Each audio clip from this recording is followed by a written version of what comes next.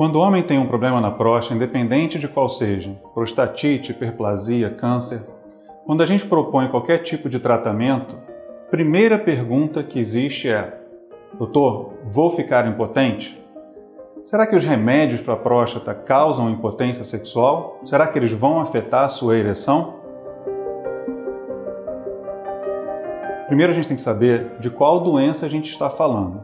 Se for da hiperplasia prostática benigna, a gente tem algumas classes de medicamento que podem sim impactar na sua ereção.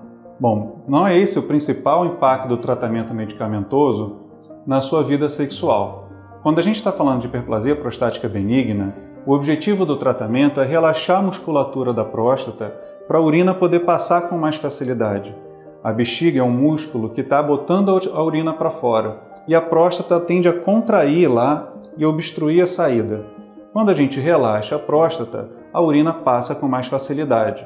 Agora, quando a gente tem um orgasmo, ou seja, as contrações do assoalho pélvico, elas também funcionam para botar o esperma para fora. Então, o principal impacto dos tratamentos para hiperplasia prostática benigna não é o impacto na sua ereção, e sim na sua ejaculação. Por que, que eu estou falando isso nesse vídeo?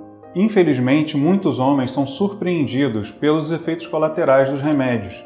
Sugiro que você pesquise melhor, converse com seu urologista e se oriente sobre o melhor tratamento para o seu caso.